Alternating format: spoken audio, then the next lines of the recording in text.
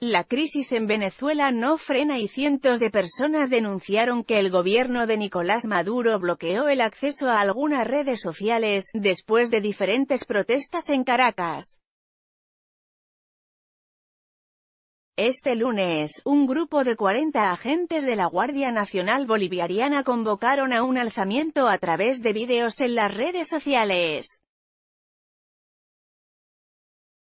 Pero luego se entregaron y terminaron detenidos.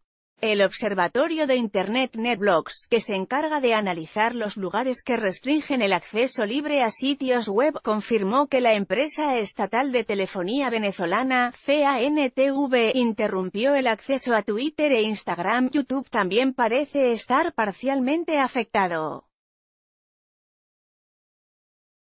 Aunque las plataformas sociales como Facebook siguen estando disponibles al momento de escribir, explicaron desde NetBlocks, la causa de la interrupción no está clara pero es técnicamente consistente con los controles utilizados para filtrar el contenido de Internet en el país.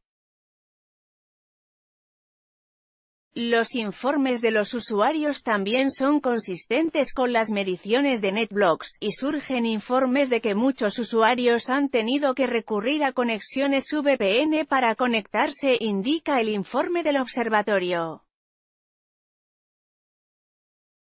El 12 de enero, NetBlocks había informado sobre el bloqueo en Venezuela de Wikipedia, en medio de crecientes tensiones y una «guerra de edición» en torno al perfil del presidente.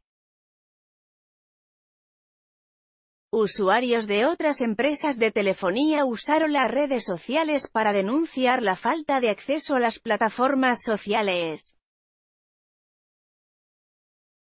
Otros, en cambio, utilizaron diferentes redes privadas virtuales VPN por sus siglas en inglés para contar la situación en Venezuela. Pues me tocó conectarme a Twitter por medio de una VPN, Francisco Pérez, arroba tesne. 21 de enero de 2019.